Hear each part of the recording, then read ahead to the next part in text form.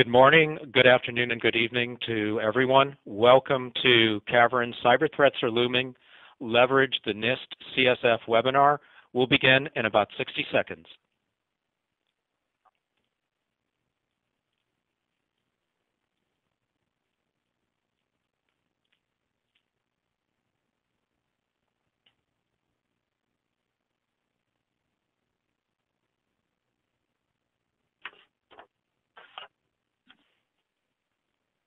Welcome everyone to Cavirin Cyber Threats Are Looming webinar. We'll begin in about 30 seconds.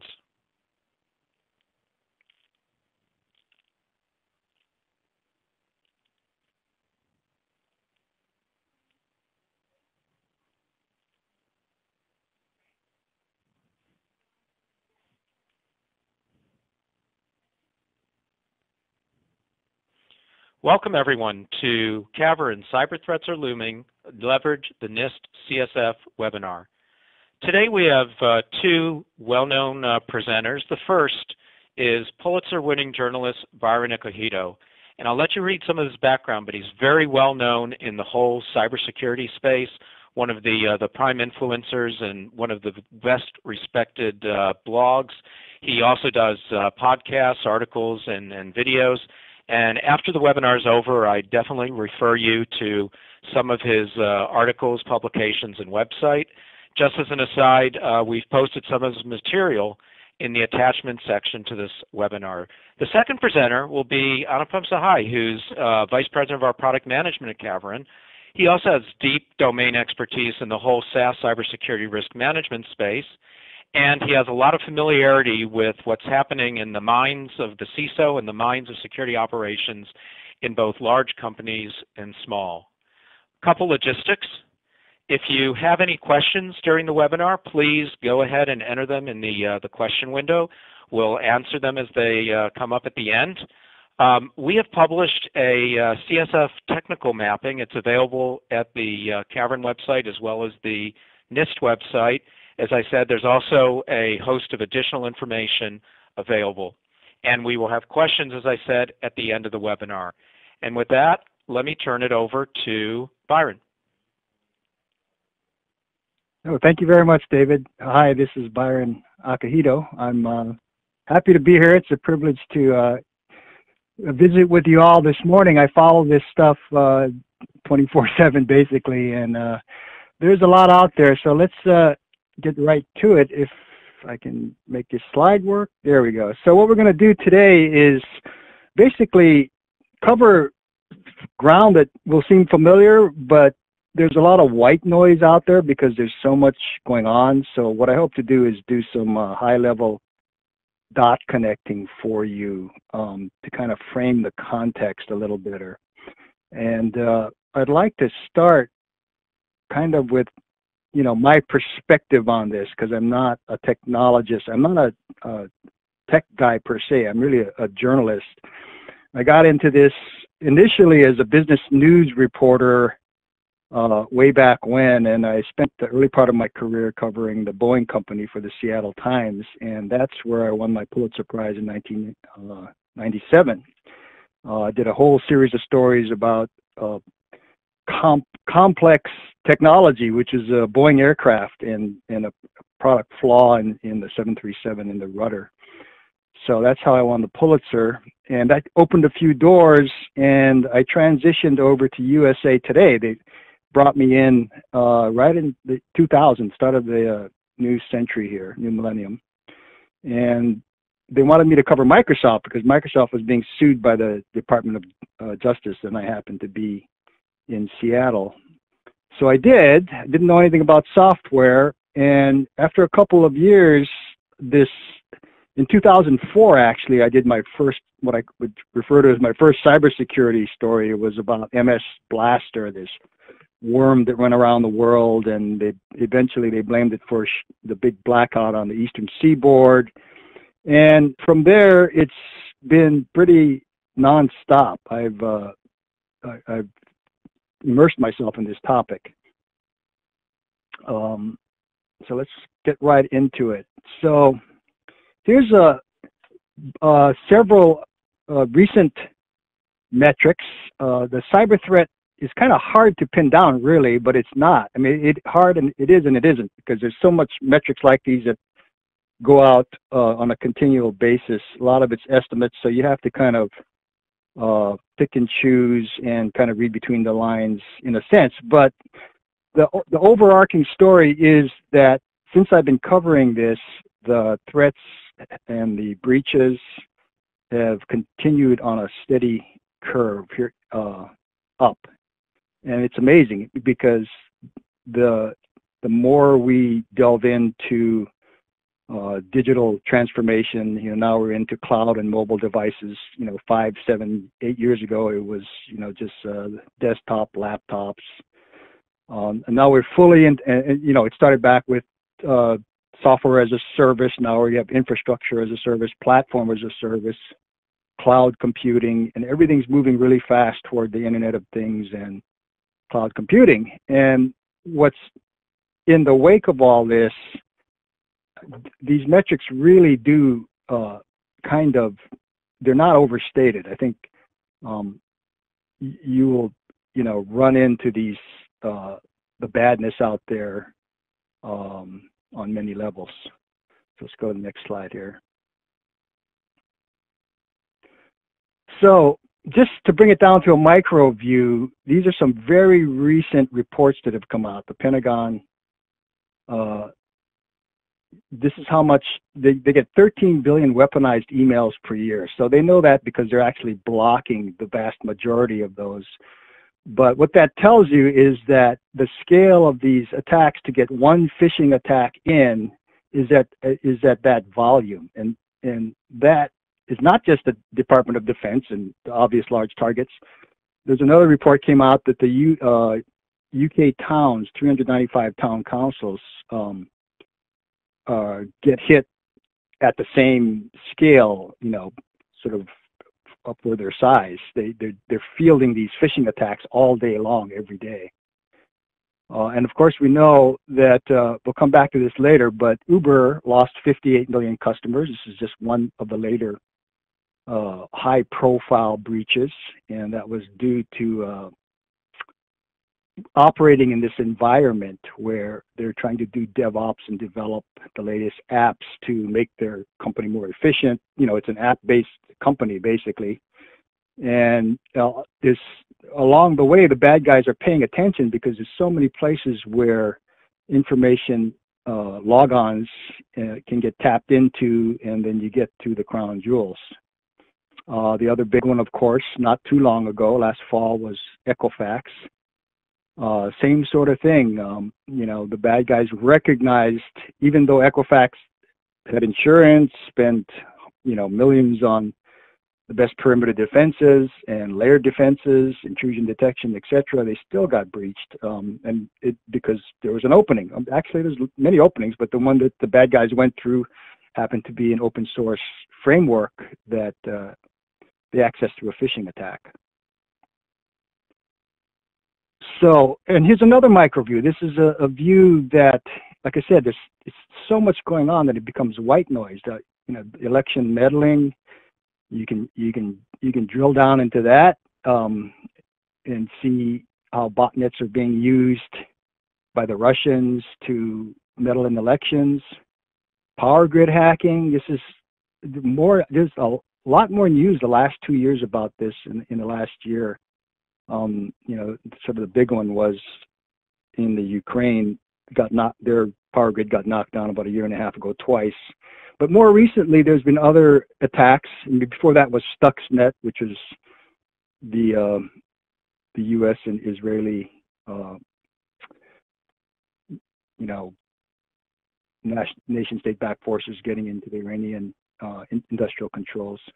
But uh, there's a lot going on there, and you can see what's happening is the nation states are positioning themselves uh, sort of like the nuclear buildup of a generation ago. They're, they're, they're setting themselves up to be in position to knock out infrastructure. And crypto mining craze is just the most recent. I mean, you can look up, you can look this up now. I'll go over it a little bit more uh, in another slide to come here. And uh, dis- denial, dis- uh, distributed denial of service attacks are again like everything else, um, scaling up, getting more, getting uh, smarter, more innovative. To the and the good guys are keeping up. You know, there there's millions of I think it's probably billions of dollars being put into defenses, but the bad guys continue to just make gains. Maybe we'll cover this a little bit more. So the because of all this white noise, um, I imagine most of you in the audience are in a position to uh, maybe influence how your organization can posture themselves better to deal with this. I, you need to. If you don't, you become the low-hanging fruit for the cyber criminals. And um, a lot of it has to do with really basic stuff, uh, figuring out where your, your what your systems are, what your valuable data is, and then going through this, understanding some of this material uh, in a way that you can determine, um, you know, what's important to your company, what is really a material risk to your organization. And I have here kill chain assessments because this is a, I've seen this referred to, I think Lockheed came up with this when they got breached about three years ago.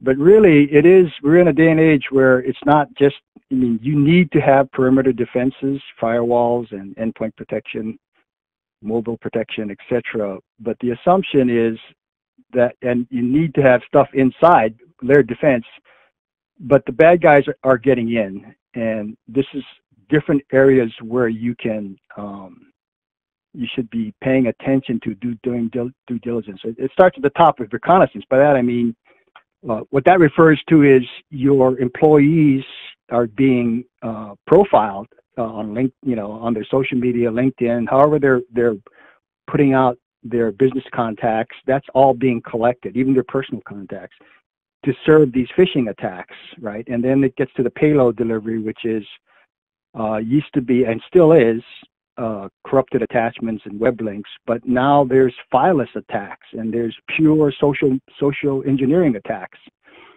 So the end result is the bad guys get in one way or another, whether they get in because they have a account access or they are able to plant a malware, and the code gets executed. And once they're inside, it's all about getting a foothold and maintaining it, and uh, you know reporting out to a command and control server, and then from there uh, just carrying out whatever their mission is and staying uh, undetected for as long as possible. So these are some of the areas where the bad guys are innovating sort of at the front edge.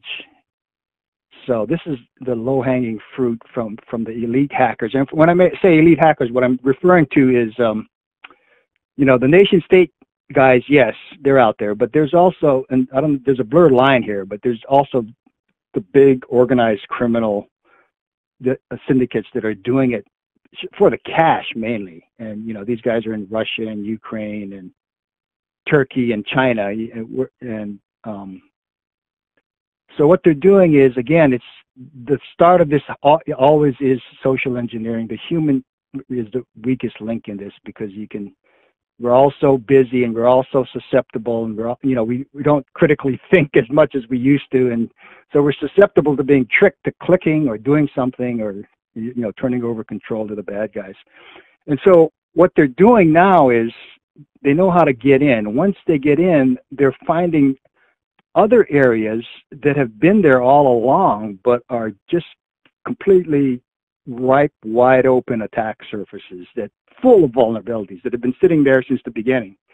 Windows administration tools like uh, Active Directory and PowerShell. And there's a long list of them. Once they get in, they can, and once they get, you know, privileged access, then they can act as a Windows administrator and leverage the tools that Windows and Microsoft put in there to make, you know, networking, you know, efficient and possible. So they're just Im imitating the administrator and taking over and doing all these inside attacks. Um, um, the open source vector has opened up. Uh, Echo, I mentioned Equifax.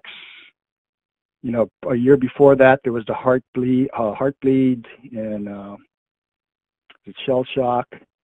All this open source stuff that was, you know, gobbled up and leveraged and now has become mainstream. Even the big tech companies are, are using open source because, you know, it's cheap and it's convenient and, and it's all embedded in our networks. Well, guess what? We never took a look at the vulnerabilities in there. So now that's what's happening, vulnerability research in that area and exploitation. And cloud security and DevOps, um, most of you probably are starting to hear about this if you're not fully immersed in this. This is, again, the whole area of uh, leveraging cloud computing and um, services, infrastructure as a service, uh, you know, Amazon Web Services, Google Cloud, Microsoft Azure, and then, you know, developing apps really fast that's the DevOps piece. None of that uh, fits. How would I put this? None of that fits well inside of the traditional perimeter defense or even the layer defense of business networks as we've come to know it and build it to this day. So something else needs to be done there because it's just getting really crazy. And this hardware IoT is like the next thing coming, right? It's uh, I think we'll go over that quickly, but basically there's vulnerabilities in the Intel chips that now is going to be the next area that opens up. So with all that going on, um, you know, there are drivers and, well, I, let me put it this way. I mean, all that adds up to is the, the bad guys, if you will, have this gap and the gap's not really shrinking. It's still big in terms of they're able to innovate and leverage all these new openings. And while doing that, still take full advantage of all the old openings that people have left unpatched or whatever. So the the bad guy, the the gap's just big, as and the opportunities are increasing. And even as the good guys are, you know, innovating and we're trying to, you know, basically stick fingers in dike, the dike, basically. Uh, you know, it's a 90 billion dollar industry. The Cavirin and you know everybody can think of, Intel, uh, all the other big security companies, Symantec, they're all there's a there's effort being put into this, but the gap remains big. So what's happening? Uh, what I have here on the screen is the regulators and the industry groups understand this, but they they're you know they're responding in really methodical slow fashion and these what you're seeing a lot of this is really good stuff but it's going at a kind of glacial pace compared to um, compared to what's actually happening out there and compared to what is actually the exposure out there and what, what actually is the material risk so i would point you to um, you know the new york department of financial services certification a rule that was something that happened. The unusual thing about that was a couple things. One was that no, no, the state legislator didn't legislature did not pass it. It was the department itself that was concerned about the financial uh, integrity of, um, of, the integrity of the financial system, of which New York is is a hub for the globe, right? So they've been they've imposed this certification rule for financial services institutions and it's good stuff. It's you know a little not too prescriptive. It, it involves the NIST. Uh, it, it, incorporates the uh, NIST standards, the National Institute of uh, Standards and Technology standards for how to approach getting a secure network. Uh, it, it, probably incorporates some of the ISAC stuff too. I mean, it's a really good, thorough approach. Colorado has followed. So that's what's happening here in the U.S. And I would anticipate that that's the model going forward. We're going to see more state because the federal uh, lawmaking process is, you know, so dysfunctional at the moment. But the, the states are responding. Meanwhile, Europe, with and this is a big deal, um, you know, that you could go to another seminar on. But the the GDPR is their updated version of their Privacy Regulation Act. So that the major takeaway there is that it has very stri- uh, sh- um, sharp teeth you can you can get uh, a fine for violating for mishandling data if you're operating in Europe that uh, is based on your revenue. So we're going to see a case study that's going to go in effect in May. And knowing Europe, they will make a case study of someone, an example of someone, and then, you know, then things are going to get interesting. So um, the other uh, the other thing that's happening is the insurance industry has recognized this as uh, you know, a classic risk, except it's not classic. I mean, it's a big risk. It's just as, you know, bigger risk as, you know, being wiped out by, you know, an earthquake or something. Uh, it's, it, you know, the chances of a business being materially disrupted by a cyber uh, event is right up at that scale. So the business, the cyber insurance industry recognize that as you know an opportunity for a new form of insurance risk mitigation. The problem is what we just discussed. It's not as easy as figuring out a fire or earthquake. Uh, it's very complicated. So what's happening is um, they want to measure this right? The insurance underwriters want to measure this. And guess who has the best tools to measure this? It's the infosec vendors. So but they're all competing and everybody has their own little set of metrics. So there's sort of this um, we're in the early part of this, but you're going to see more of this where security vendors are lending tools to the underwriters. Risk, mitigate, risk mitigation firms are going to come up with new models, and then they're going to start pricing this stuff better. And to get a good premium, you're going to have to, you know, do stuff like meet the new state regulations or something to that effect. So that's the halo effect. I think companies are going to start wanting to buy insurance to cover the last bit of this risk, but to do so, they're going to have to have a good network defense that's uh, viable. Um, so that'll help things, but it's going to take a while. Um, so what does it, all this mean for your organization? Um, I'm sure you've probably heard this if you've been paying attention, but yeah, assume you've been hacked, even if you think you're doing a good job, and well, even if you're spending money on network defense.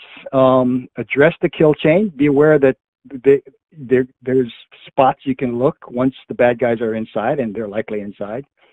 And then uh, very methodically make yourself, uh, let's put it this way, don't stop being low-hanging fruit. You know, make, make, do some of the simple things progressively that will make you a more expensive target because then the bad guys will just move on to the next target that's easier to hit. So uh, I'm going to speed up here. So just uh, security by design, practice uh, cyber hygiene.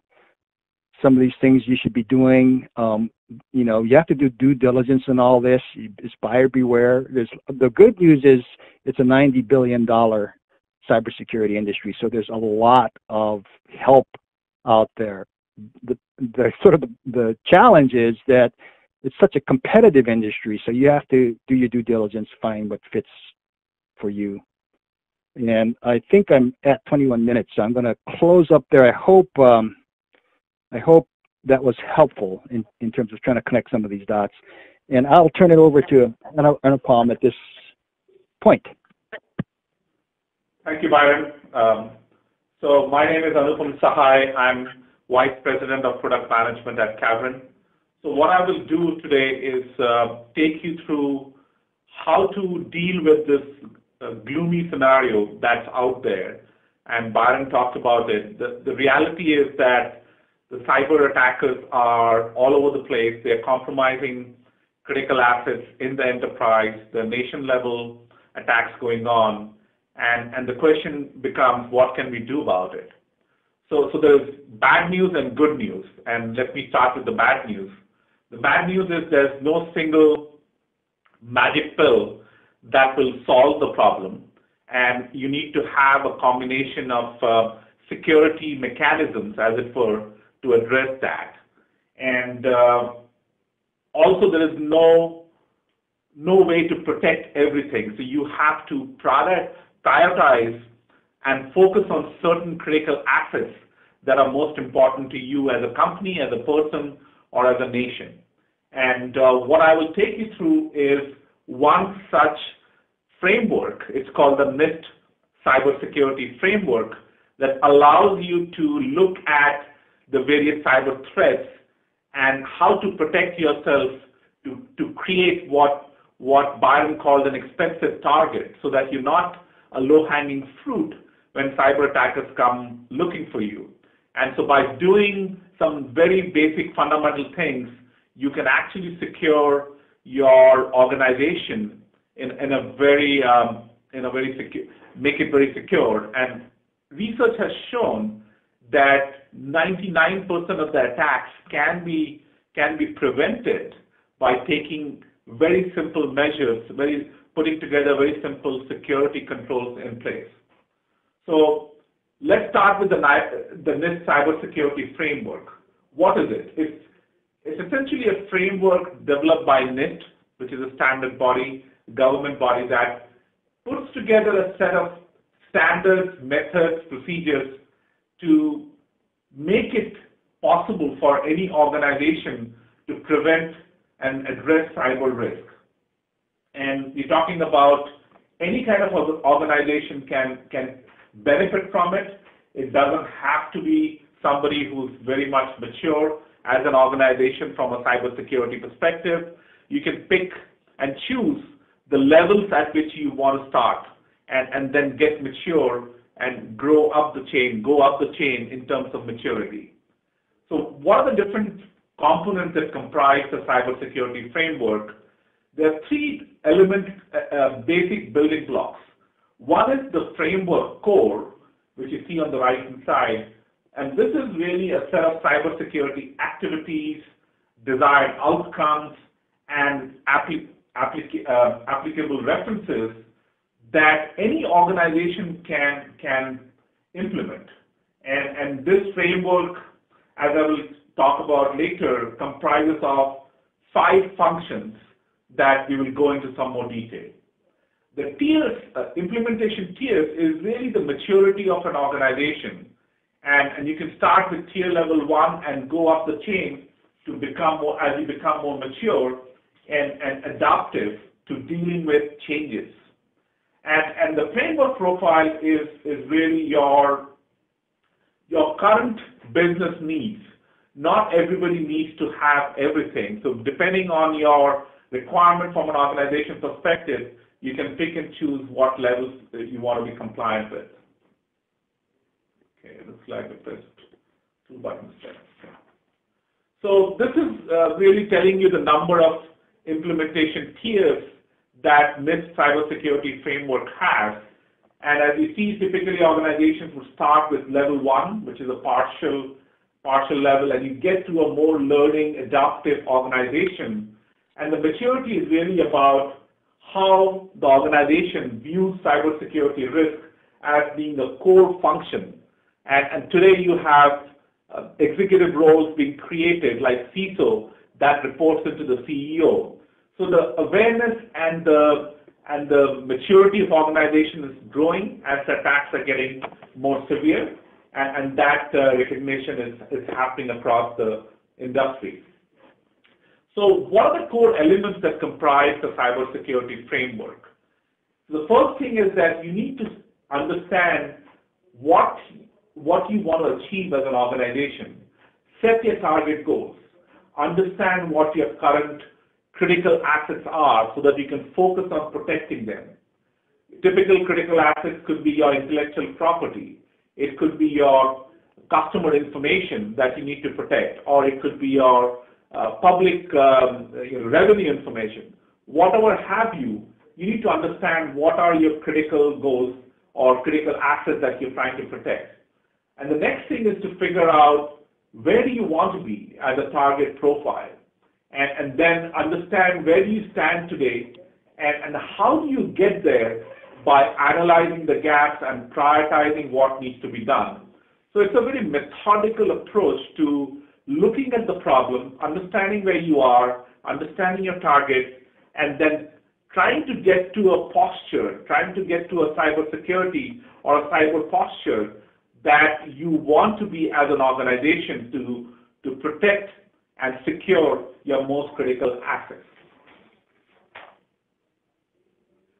So I, I, mentioned that there are five different elements that comprise the cybersecurity core framework, and they, they correspond to identify, protect, detect, respond, and recover.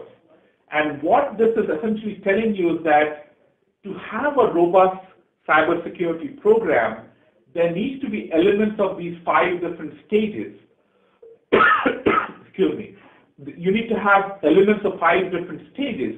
Not everything that comprise each stage, but at least elements of it, so that you're able to focus on identifying the critical assets, protect them, and then detect if any violations happen. And if, if the violations do happen, then you're able to respond to it and recover from it. So as you can see, there's a five different sets of mechanisms, security mechanisms that comprise a robust security program as per NIST cybersecurity framework. And if you dive into into um, if you dive into one specific uh, rec rec recommendation, we are looking into the business environment of Identify. It lays down very specifically what organizations need to do to meet those uh, objectives. And again, this cybersecurity framework is, is very flexible. It's very uh, it's very uh, open, and, and what it allows you to do is to use one or many frameworks like ISO, uh, COBIT, or NIST, etc., etc., to achieve that requirement, achieve that particular function or subcategory. So as an organization, you're not prescribed to follow one methodology or one framework. You can pick and choose controls as relevant to meet these requirements. So in terms of, uh, as, as an organization, you want to have elements of all these different five mechanisms.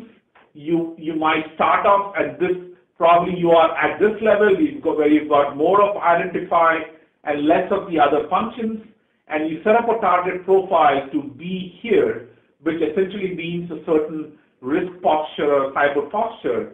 And, and really what risk is telling you is giving you a way to quantify risk so that which tells you what are the chances, what are the likelihoods of a, of a threatening event from happening that will compromise your critical assets. So it will allow you to quantify and provide that capability to do that. Now I'll talk about Cavirin, which is an automation tool that allows you to implement something like a NIST cybersecurity framework, which has the capabilities to protect, monitor, and respond. And then we have some machine learning algorithms that allows you to learn from the past, from the history, to better understand what actions need to be taken. And uh, the automation tool will give you your overall risk posture, what are the elements that, that contribute to it, whether they're security issues or compliance issues. It can deal with both the aspects.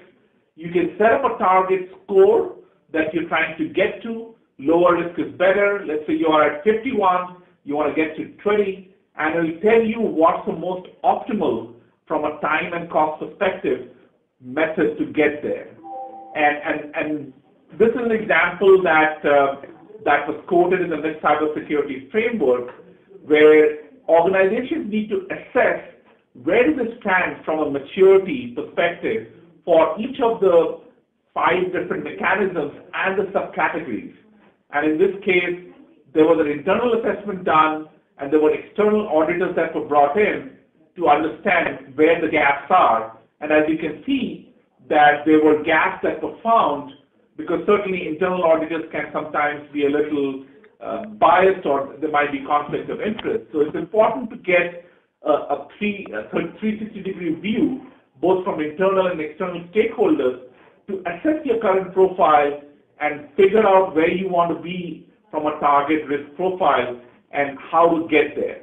So Cavirin, as I mentioned, has the cybersecurity framework automation tool that will help you get there. in optimal fashion so, so that you minimize the resources and time required to not only get there, but will do continuous monitoring to maintain your posture. So let me summarize that uh, both Byron and I want to reinforce the fact that cybersecurity threats are, re- are real. They are happening today. In fact, uh, I was in a conference with the with the FBI director and, and basically said that maybe 50% of the organizations know that they have been breached. The rest, they don't know that they have been breached. So literally what that means is that everybody should be thinking about this, putting together a framework like NIST cybersecurity framework to ensure that they're protected and secure uh, and secure the critical assets. And, uh, an automation tool like Cavirin could help you get there. So let me pause here and, and see whether there are any questions.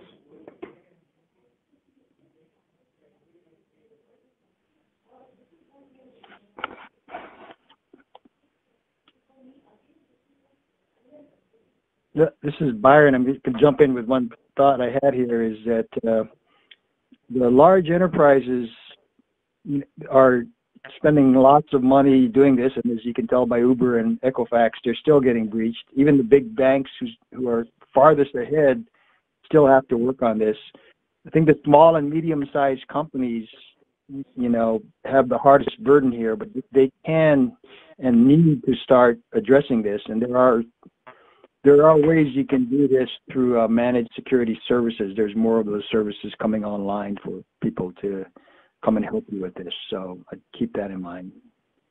Yeah. And the other thing is, you know, it really the the main vulnerability. I, I'm sure Anupam would maybe agree with this, but the number one vulnerability is the human, the social engineering. So if you know you go wrong by starting there.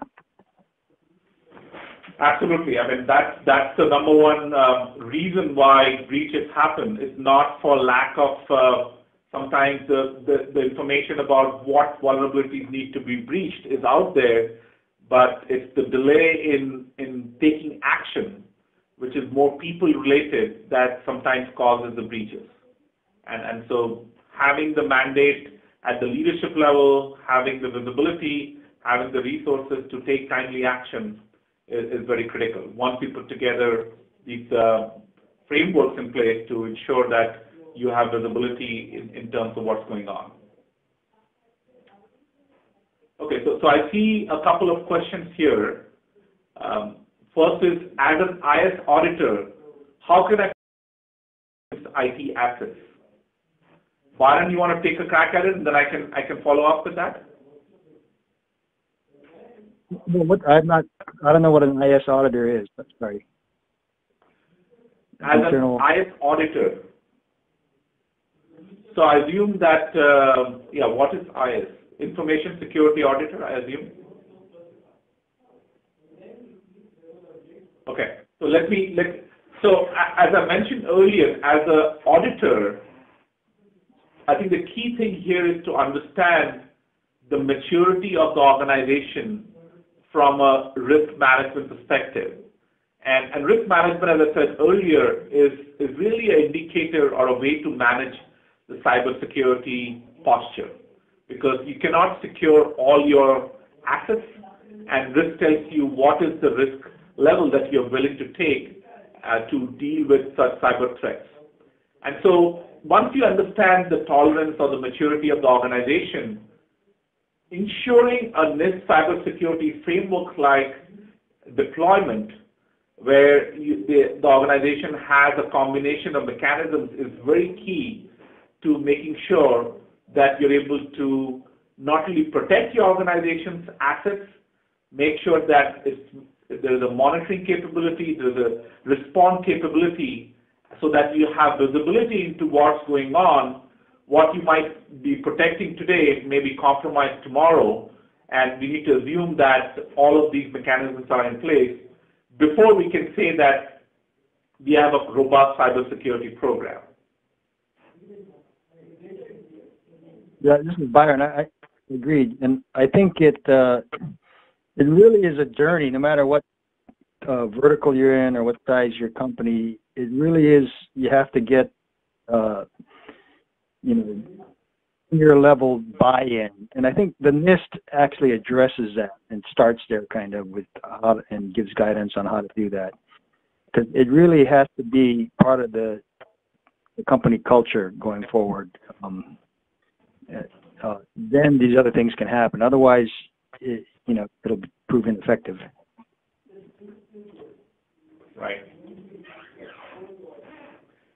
Please type in your questions in the in the questions arena area of the of the BrightTALK presenter. If there are any questions. This is this is Dave. the one of the ones that came on, I I had my phone on mute earlier. Is uh, this is to Byron um, about two-factor authentication? A lot of talk about it. Um, you know, a lot of people look at it as ways to solve a number of these issues. On the, the counterpoint is that as you hear everyone always complaining about two-factor authentication, there's different ways of of implementing it and executing it. What, what's your view on it, and what's the most effective way forward? Oh, yeah, thank you. Yeah, I think that uh, two-factor authentication um, is a really basic but very big bang for the buck uh, solution. And so once you start doing your due diligence about it, it'll force you to do other things. You know, where do you want to apply it? How you train your employees? How do you make it effective? But it, it's the why it's so powerful is that it um, covers a lot of these vulnerability areas where the bad guys are getting in and getting a log on, which is easy to do, and then you know getting elevated privileges and manipulating the open source vulnerabilities and the Windows tools, et cetera, et cetera. So, and they're going to continue to do that. There's going to be never-ending vulnerabilities in that area. The, first, they'll go look for the unpatched vulnerabilities that everybody knows about that are the real low-hanging fruit. So, I think you can apply them on different levels, you know, in your organization, and you know, it's going to be less convenient, but it needs to be. And so that's you have to develop that as part of your culture. So Byron, while you're answering, uh, another question came in. Um, we're a long way from advanced technologies, and so how can you know a person realistically protect their company? And that's probably uh, answerable by both of you. Um, well, I think you just start at the beginning, which is realizing we're in we're in a uh, internet-centric digital economy, right? And everybody, I would, I think, probably every organization is, uh, you know, leveraging digital technologies, the cloud, mobile devices, and remote workers, right? There's no perimeter anymore. So it starts with realizing that, and then, um, th- you know, it's kind of we just covered this, but the NIST standards is a way you can start taking baby steps and getting your uh, mind around it and getting your organization involved in it you know, at, at the first level, first step, second step, third step, and so on. But really is it's realizing that this I've been covering this for 14 years, and when I first started writing about it, I told my editor, "Hey, this is a two-year story. Let me pay attention to this." It's 14 years later, and, and it's it's gotten uh, you know it's escalated and gotten more complex, and like I said, this gap con- continues to exist. I, I think we're going to close it, but it's we haven't started the process just of, of narrowing the gap. And this is what it'll take. Every organization has to do this. Every individual has to do this. Anupam, any uh, last thoughts on, on the yeah, question no, about I, advanced I agree technology? With what, yeah, I agree with what Byron said, that, as I mentioned earlier, about 98 to 99% of the breaches are avoidable by taking very simple steps. And, and this framework is a, is a great place to start. You don't have to be very mature or very advanced in technologies to really implement all of it, but start there and, and then work your way up in terms of uh, how you make it more adaptive and repeatable, etc. But uh, but it's it's not that uh, difficult if you want to start with some very simple steps and then grow, uh, go up from there. Okay, so Anupam, thank you very much. Byron, thank you very much. Uh, for those listening, once again, we've posted uh, attachments and uh, some of the links. You can go to the, uh, the various assets that we've posted. And just uh, for your planning, in the next few weeks, uh, we'll be delivering a webinar that dives into GDPR readiness. So please take a look for that in terms of date and time. Thank you again for our presenters, and we'll sign off now. Thank you. David.